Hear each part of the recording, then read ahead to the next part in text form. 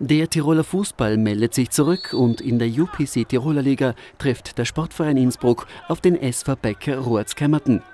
Rund 300 Zuseher sehen in der Wiesengasse eine spannende Partie mit Chancen auf beiden Seiten. Erstmal steht auch Dominik Bichler im Tor des SVI. Markus Blunzer bringt in der 38. Minute die Mannschaft aus Kämmerten mit 1 zu 0 in Führung. Aber nur zwei Minuten später zielt Michael Simic den Ausgleichstreffer. Auch nach dem Seitenwechsel hat das Spiel einiges zu bieten. Kämmertens Schlussmann Thomas Maischberger zeichnet sich mit einer schönen Parade aus.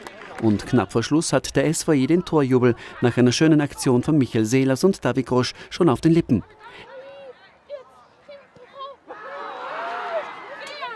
Es bleibt aber beim 1:1. Auch an der Tabellenspitze der UPC Tiroler Liga hat sich nichts geändert.